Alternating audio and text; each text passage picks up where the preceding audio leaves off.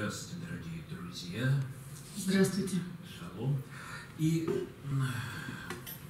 начнем мы с того, что уже больше 10 лет назад в бат-клубе «Парус» Валерий Окун и Екатерина Асмус как-то собрались и сделали, ну, это можно назвать спектакль, можно назвать концерт, можно песенная программа. Сложно это все вот в одно целое свести – но по большому счету, конечно, спектакль. Они собрали много разных песен, грустных, веселых. Кое-что нашли переводы, кое-что перевели сами. И сделали из всего этого дела, связали все это нитью рассуждений о том, что же такое еврейское счастье. Эта программа существует с тех пор, многие принимали в ней участие, и вложили свои, потому что от каждого от каждой программы к следующей она изменялась. Появлялись новые песни, какие-то наоборот уходили. И принимали в этом участие Роберт Синдаян, Лев Ефит, Сережа Бусыдин, ну и вот мы с Верой тоже, Ирина Петровская и я, Сергей Нотик. Нет уже больше пяти лет. Лера Волкун. Катя Асмус тоже, в общем, большей частью живет не в России. Вот. А программа до сих пор жива. Мы, конечно, не будем ее показывать целиком, потому что она большая, она там в двух отделениях, наверное, часа три все это вместе. Вот, ну, покажем лишь небольшие кусочки оттуда. Давай перейдем к тому, с чего должна начинаться каждый, ну, не знаю, там, концерт, посиделки и прочее. Вот нужно поприветствовать всех и представиться. Краткий перевод следующей песни. Поздороваемся и сдвинем бокальчики.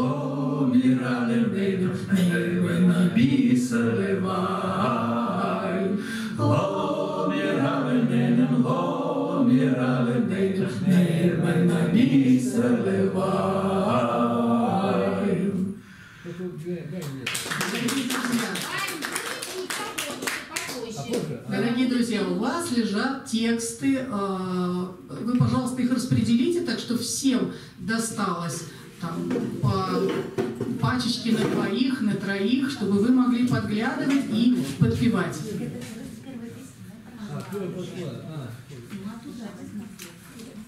Ну что, мы уже можем приступить к обсуждению самого главного вопроса. Что же такое еврейское счастье? Что? То есть ты не понимаешь. Чего? Евреи – это люди книги. У нас все должно делаться строго по правилам, по расписанному, по всему. И даже концерты, они должны не просто так проходить, а строго э, Причем эти даже По правила, да, они есть, вот, к примеру, в следующей песне, они, э, они описаны, причем под музыку.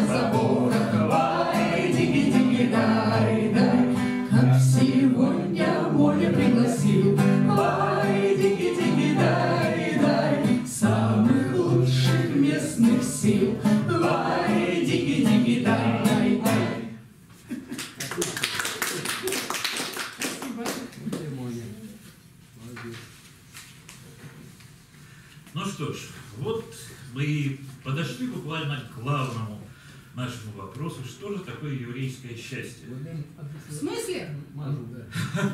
Но только тут тоже нужно очень четко давать определение. И если... О, Вот это было то самое. вот. У меня технический склад ума, поэтому я хочу, так сказать, все распределить по полочкам. И если уж мы будем говорить о еврейском счастье, то давайте вначале поговорим, а кто же такие евреи. Вопрос-то сложный, честное слово. И однозначного мнения на этот счет не существует. Но вот давайте послушаем, что пишет по этому поводу Игорь Губерман. Откуда взялись евреи? На этот счет существует много разногласий и домыслов. Нет числа гипотезам, теориям и версиям. Одна из них даже гласит, что это инопланетяне, сосланные на Землю с подозрительными ц- целями. Другая в средние века, что они, если не порождение дьявола, то веками состоят с ним в тесном сотрудничестве. Сами же евреи, ну, а точнее их часть, ибо согласия у них нет почти ни в чем. Считают, что их происхож... в их происхождении замешан лично Господь Бог. Это утверждение не лишено здравого смысла, ибо если допустить его существование, то и замешан он решительно во всем. Господь ли создал евреев, или они его, и кто кого избрал, все это так запуталось, что даже сами герои этой многотысячелетней драмы толком не представляют, как это было в действительности. Мы со свойственной нам склонностью к компромиссам предпочитаем считать, что это произошло одновременно. Но, увы, ни Господь, ни евреи не обладают нашим миролюбием и решительно отказываются разделять нашу точку зрения. Короче, кто такие евреи, достоверно неизвестно никому, включая их самих. А точнее говоря, ответов на этот вопрос столько, что одно лишь количество ставит под сомнение истинность даже самых правдоподобных из них. Вот, к примеру, Сартер считал, что евреи – это те, кого другие считают евреями. Изящно, остроумно, только вот евреи с этим не согласны. Им, видите ли, самим хочется принимать решения по этому поводу. Нам лично более по душе определение такое. Еврей – это тот, кто имеет основание и мужество считать себя евреем. Сейчас все меняется. Сейчас события. Да. Так что с первым вопросом мы, я думаю, разобрались, и, по крайней мере, дальше мы его рассматривать не будем, потому что это просто дороже для здоровья. Да. А теперь, что же такое счастье? Ну, счастье – это отсутствие несчастья. Ну, это такой... Да ничего подобного. Вот у нас у каждого в жизни происходит большое количество событий, да, и если бы каких-то из них вот, вот не было бы, ну, гораздо счастливее, правда? Но все-таки это софизм. Ну, конечно. Ну вот убрать несчастье, будет счастье. Ну хорошо. Ну вот действительно, с этим я согласен. А еще у счастья есть совершенно замечательное свойство. Даже вот такой вот маленький кусочек счастья, это все равно будет щастя. Гонет мене бісили мазало, гонет мене бісили лік, до срейдом зозіх обердреєм, он рейдом де се.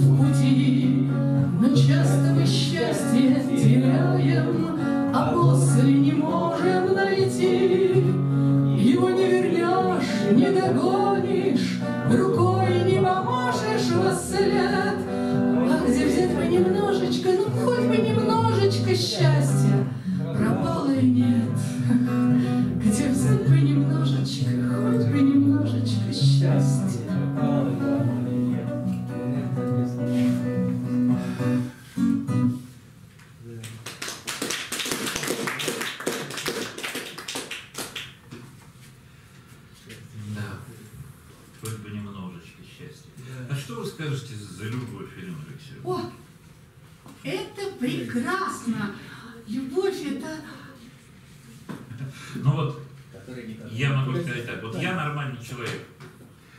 И спросите меня, что такое счастье, я скажу, счастье это любовь. Ну, нет, конечно же, любовь это там э, куча нервов, там, в общем, все, все, все, все. Но вот если ты не любишь, то ты несчастлив. Вот это однозначно. Ну, правда ведь. Потому что только тогда, когда ты любишь, ты действительно живешь. А все остальное это так. И совершенно не важно, кого ты любишь, ну или что ты любишь. В общем, оно все равно наполняет нашу жизнь.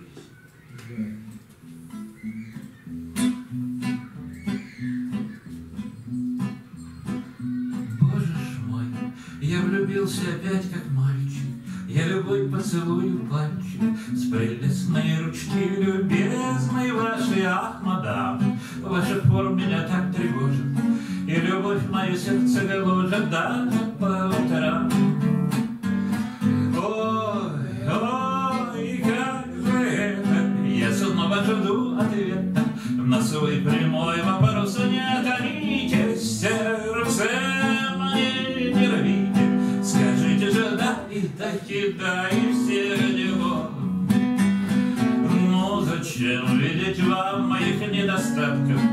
С вами жить в достатке. Вода на воды, на воды ездить, дайте срок. Понаделаем мы детишек. Не смотрите, что я не вышел ростом, смех не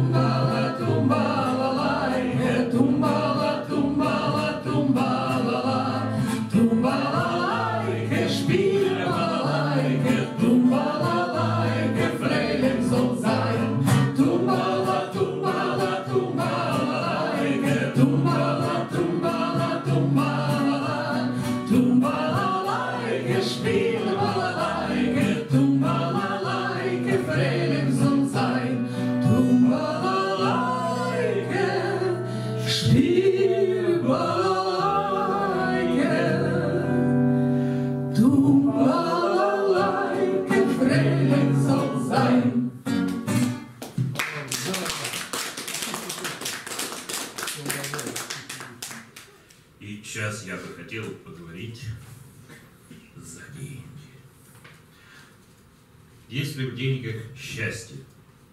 Вопрос сложный. То есть известно, что без денег, конечно, счастье хуже. Это уж вот, я думаю, все это испытывали на себе. Но вот мудрые люди говорят, точнее пишут, а может быть, будь я Ротшильд, я, может быть, вообще отменил бы деньги. Никаких денег. Потому что давайте не будем обманывать себя. Ну что такое деньги? Ведь это же, собственно, дело сговора, ну самообман. Взяли кусок бумаги, нарисовали на нем картинку, написали 3 рубля серебром. Деньги, говорю я вам, это только соблазн, страсть, одна из самых пагубных страстей.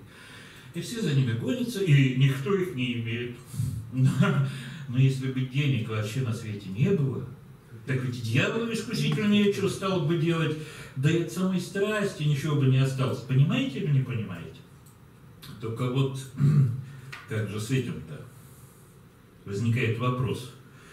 Откуда тогда люди брали бы деньги, чтобы справить субботу? А еще позвольте, откуда мне сейчас взять на субботу? Ну да, без денег. Без денег Жизнь лучше не родиться на свет Жизнь Божий. плохая, не годится никуда, да? Да, а если родиться, так лучше сразу. Ночь туманна и дождливо за окном темно. Мальчик маленький тоскливо плачет под окном. Он стоит к стене прижатый и на вид слегка горбатый И поет на языке родном. Друзья, купите, купите папиросы, Подходи, пехота и матросы, Подходите, пожалейте, сироту меня согрейте, Посмотрите, ноги мои босы. Мой отец в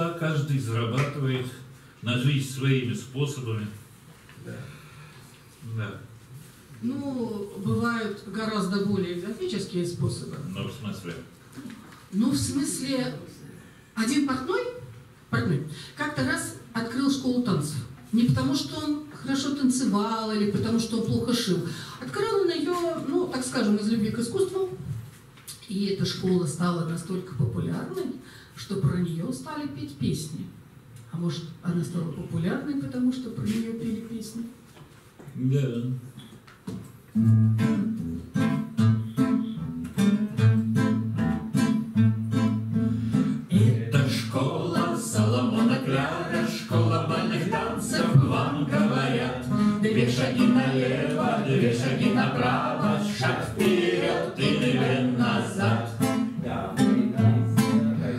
Дамы, не сморкайте занавески, это неприлично, вам говорят. Это неприлично, не гигиенично и не симпатично, вам говорят. Девочки, а вы со мной?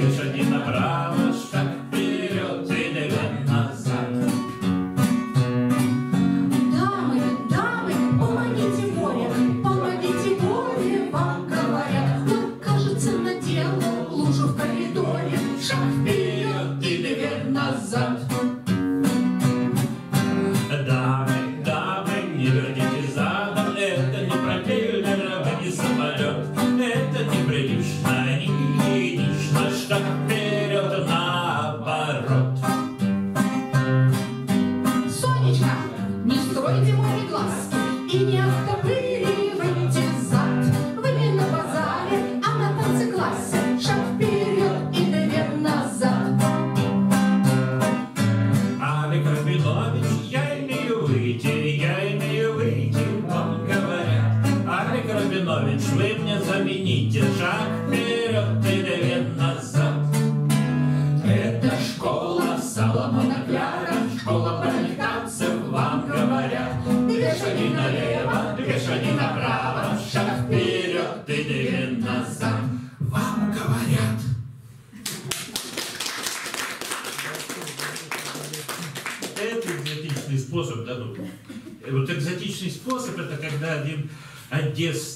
мелкий коммерсант решил жениться для того, чтобы поправить свое финансовое положение, причем не просто из-за невесты, а из-за ее брата, которого знала тогда вся Одесса. Подождите, подождите. А брата случайно не Беня Крик звали? Да, да, именно Бенни Крик. А это не тот Беня Крик, который спалил полицейский участок? Он, он самый. А, а это не та его сестра, которая была настолько развратна, что вообще Бене было стыдно, что у него такая сестра? Ну да, да, да. Его, собственно, звали Боярский. А. И вот как представляет себе эту последнюю прогулку жениха перед свадьбой Григорий Дикштейн.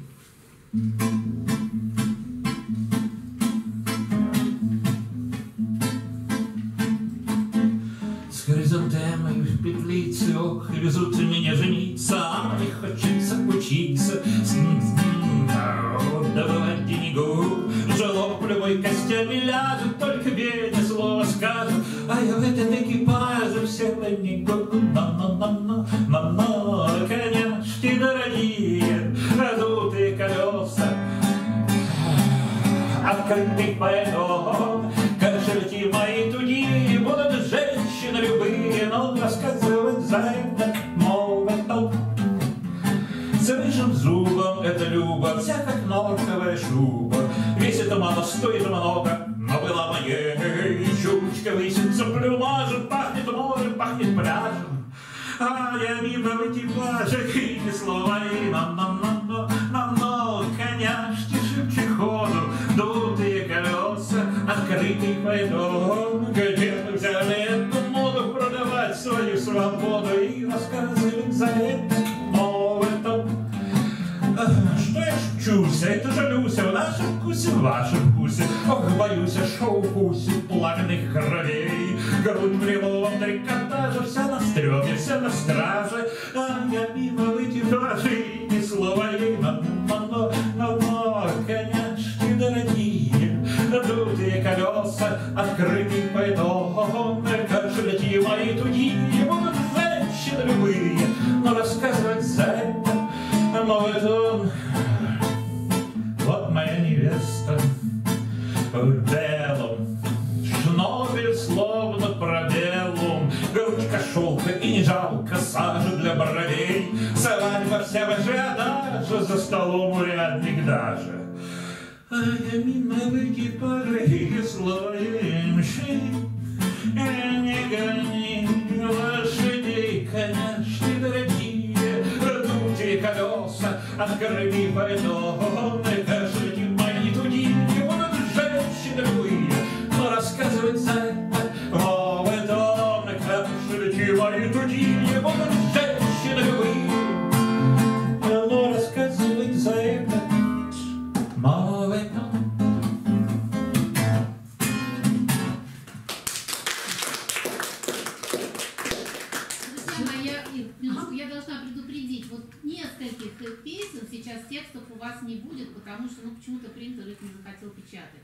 Поэтому вот извините, сейчас немножко передохните, сейчас мы послушаем, а потом Очень даже с какого-то момента снова начнем развивать.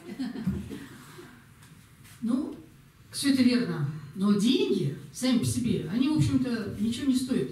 Взять хотя бы ту же Костреловку и ее жителей. Достойно справить субботу в пределах мечтаний. Всю неделю готовы они трудиться, работать до седьмого пота, не есть, не пить, грызть землю, почернеть от забот. Только бы справить субботу. И поистине, когда наступает милая святая суббота, пропадай, Егупец, пропадай, Одесса, пропадай, даже Париж. Говорят, это, возможно, действительно так, что с тех пор, как существует город Козреловка, не было там случая, чтобы еврею пришлось в субботу голодать. Потому что, видимое ли дело, чтобы у еврея на субботнем столе не было рыбы?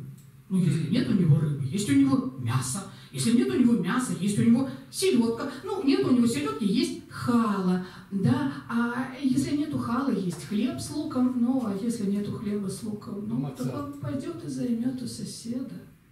А в следующую субботу сосед займет у него.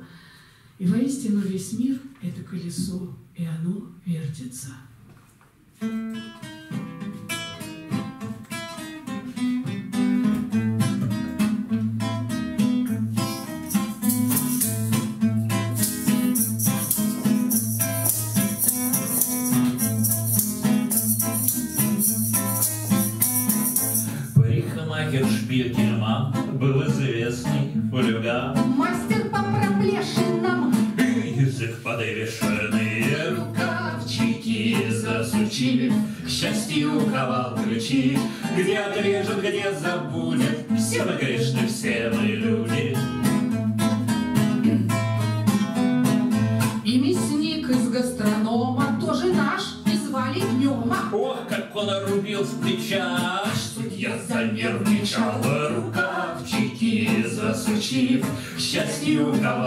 ключи, где отрежет, где забудет, все мы грешны, все мы люди.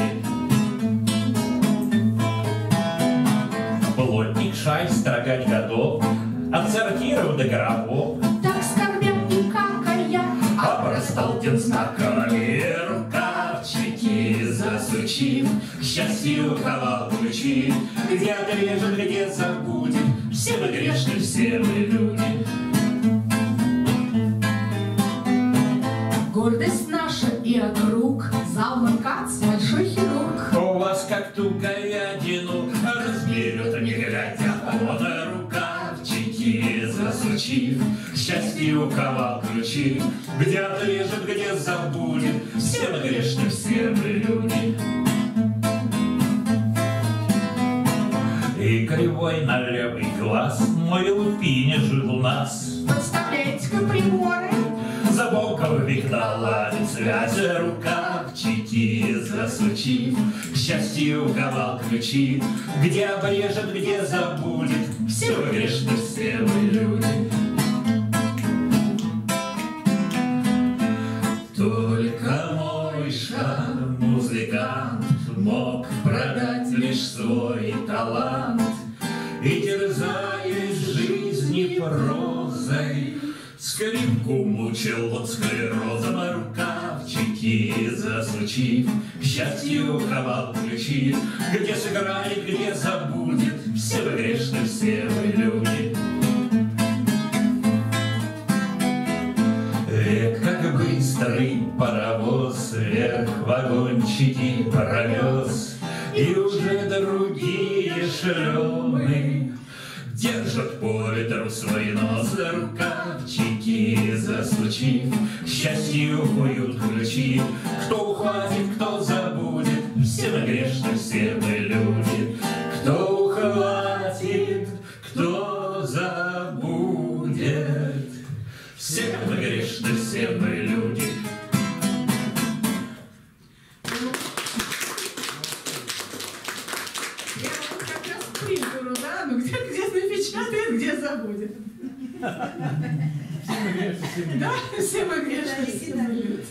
на самом деле, может быть, по мнению кого-то, деньги – это ключи к счастью.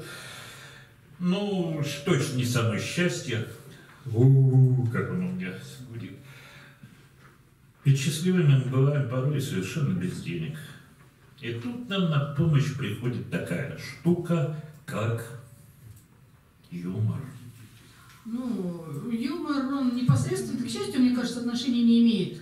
Он скорее позволяет иронически, снисходительно отнестись к каким-то своим несчастьям. Ну, тут ведь вообще у евреев чувство юмора такое ощущение, что оно в крови.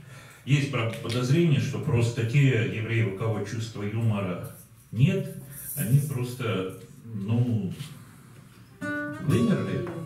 Вот, не выдержали естественный отбор. Они, правда, все равно встречаются, их охраняют специально для того, чтобы на них оттачивать свое чувство юмора. И еврейские анекдоты, ну, и евреи, конечно же, в первую очередь всегда смеются сами над собой. Ну да, смеются над собой. И вот, как пример анекдота про самоидентификацию, следующая песня, написанная Игорем Белым. Вы же знаете, да, что очень модно вот в интернете постить котиков. Ну как же можно обойтись без котиков в концерте? Паразит по названием кот по имени Янкель. Только с виду еврейский, на самом же деле он янки. Только янки способен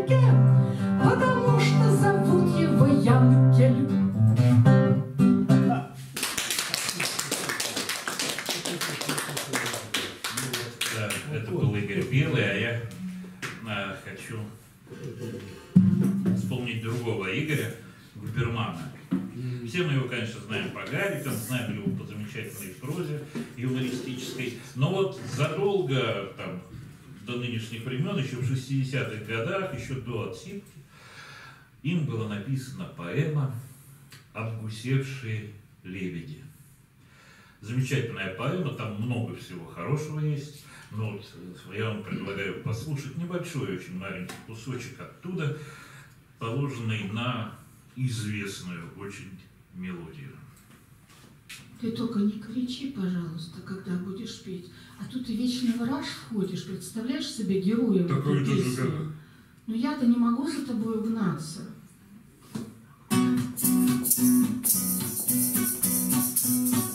Это жуткая работа,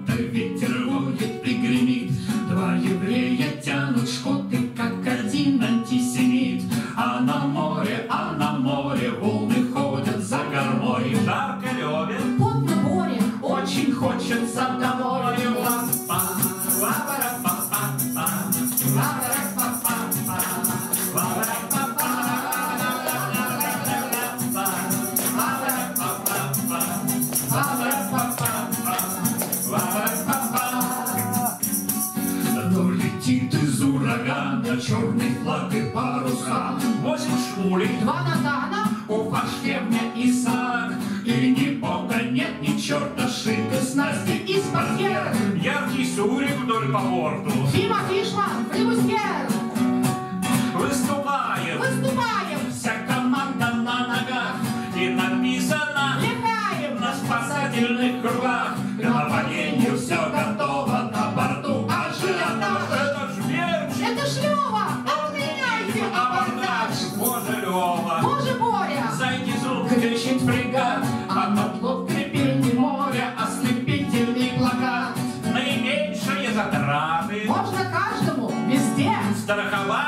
Пиратов от пожара на воде. Ла-па, ла-ра-па-па-па, ла-ра-па-па, ла-ла-ла-ла-ла-ла-па, ла-ра-па-па-па, ла-ра-па-па-па, ла-ра-па-па.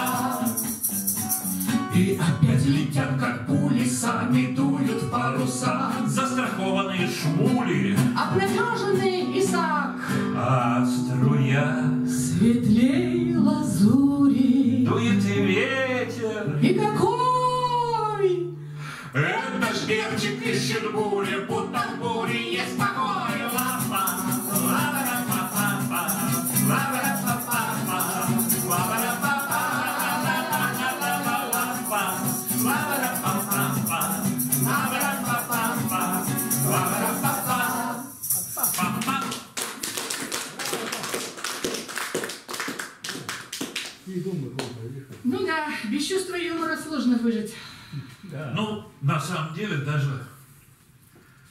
даже отношение к смерти во многом у евреев стобрено хорошей долей еврейского юмора. Ну, кстати, вот такой вопрос. Ну, вы же знаете это старое идиоматическое, если так можно сказать, выражение «лавочку закрой». Ну, типа там «Сема, лавочку закрой». Жил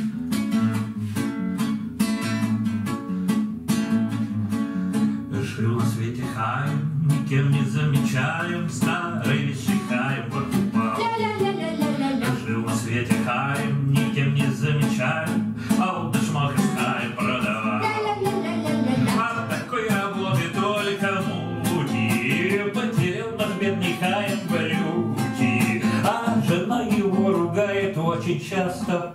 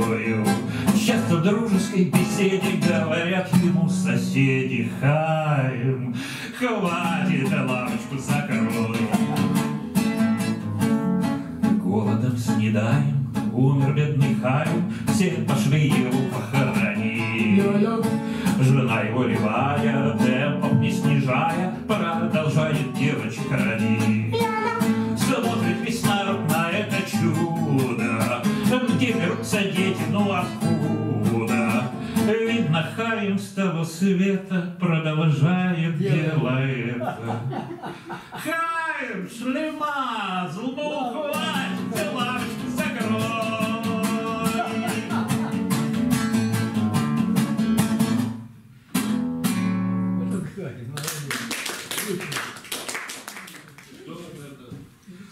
Музыка. Это то, что объединяет нас. Вот и нас, стоящих на сцене, сидящих в зале. Ну, и целые народы.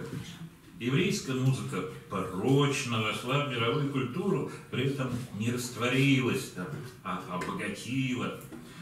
Еврейские музыканты, ну кто они? Вот следующая песня.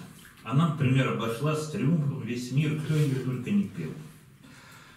Но написал ей эту мелодию еврейский, американский композитор Шолом Секунда для 1932 году для мюзикла Микейн Лебен Нормер Лост Ништ. Можно было бы жить, да не дают. Вот. Я говорю, кто ее только не пел, там, Фиджеральд, Сестры Берри. Самые известные. Ну, в общем, тут... Но в России, в России ее ждала особая судьба. Она здесь прожила Нету, к сожалению, этого не одну, Вы его все знаете. не одну, а много жизней совершенно разных. Вот послушайте.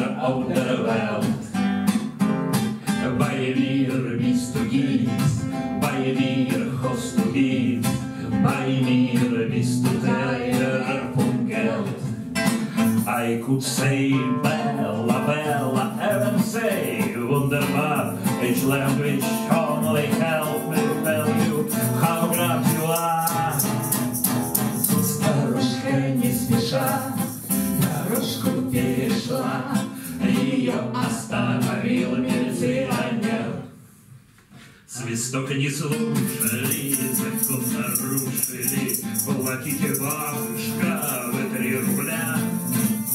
Да что ты, милый мой, ведь я иду домой. Сегодня мой Абраша выходной.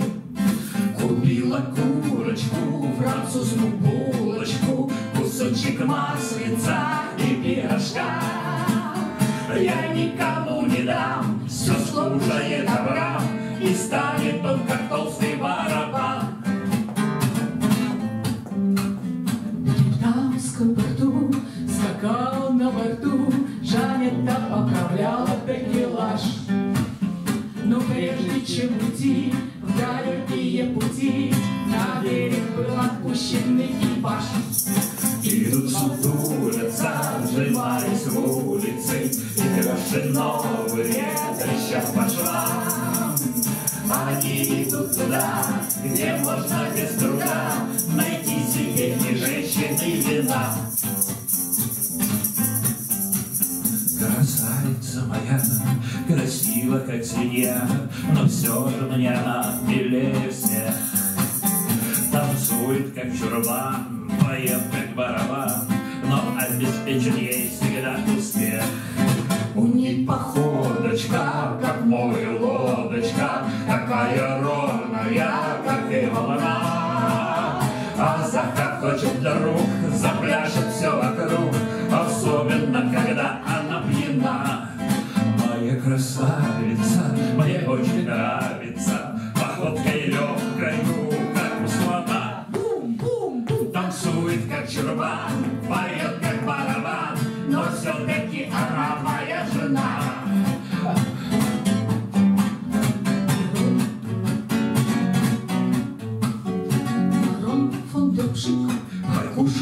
Русский штык. Давно собирался и мечтал.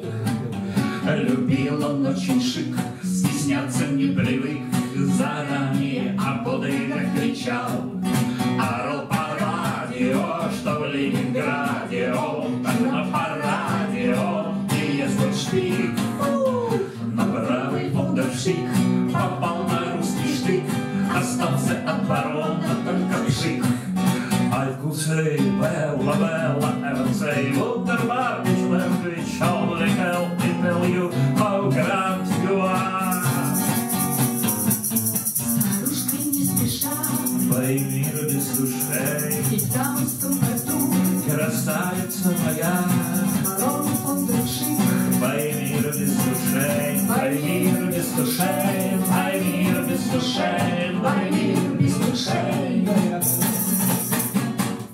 Молодці.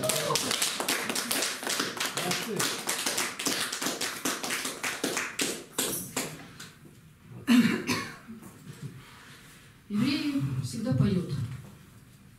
Да. Всегда. На молитвах, в шаббат, в праздники и в будни всегда раздается песня. И в грустные минуты тоже. Так устроена Аидиш и Мишумен, еврейская душа, отразившаяся в фольклоре гетто и лагерей. Народ, обреченный на истребление, не только оказывал сопротивление, но и продолжал жить активной культурной жизнью, продолжал петь, демонстрируя свое духовное величие. Люди, каждый день встречавшиеся лицом к лицу со смертью, пели. И если заглянуть в Тору, то станет ясно, что эта традиция идет очень из древних времен. Там, возле Вавилонских, Как мы сидели и плакали, К нам приходили смеяться, что ж вы сидите и плачете, Что не поете, не пляшете? О-о-о!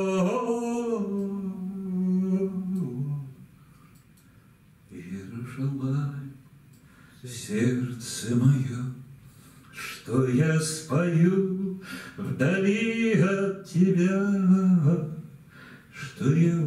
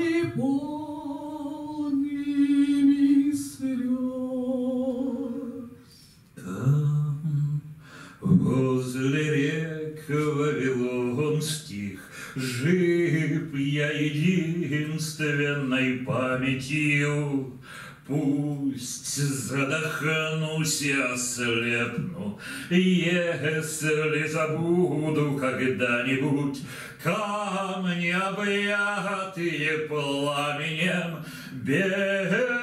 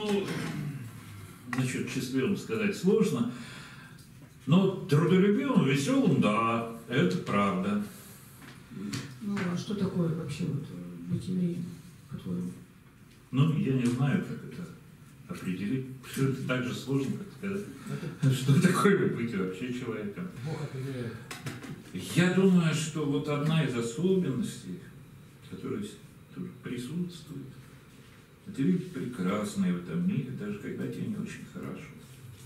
И, кстати, в этом тоже есть счастье. Он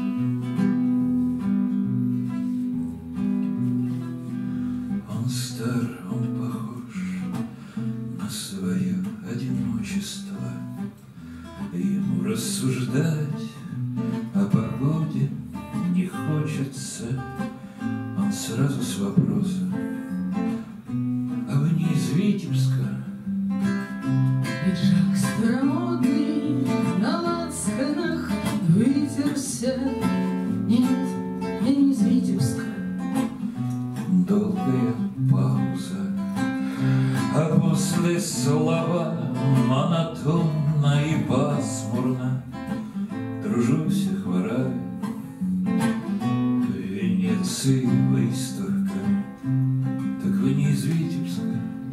Нет, я не из Витебска. Он в сторону смотрит, не слышит, не слышит.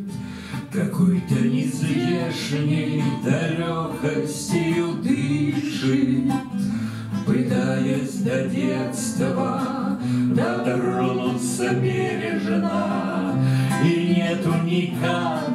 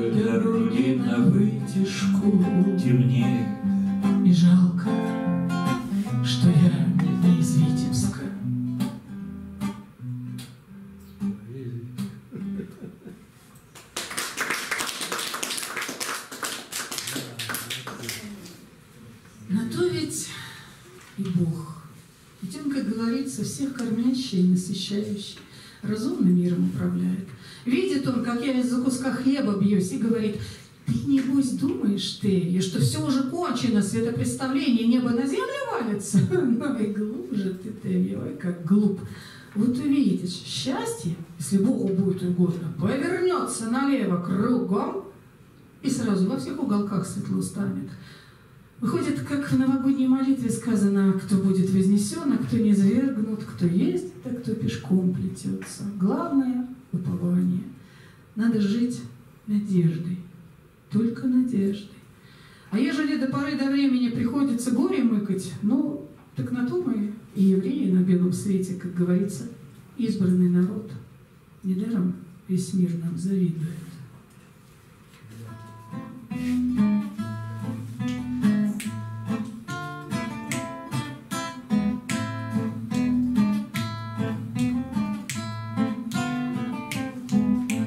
Через поле до пригорок все телега накатится.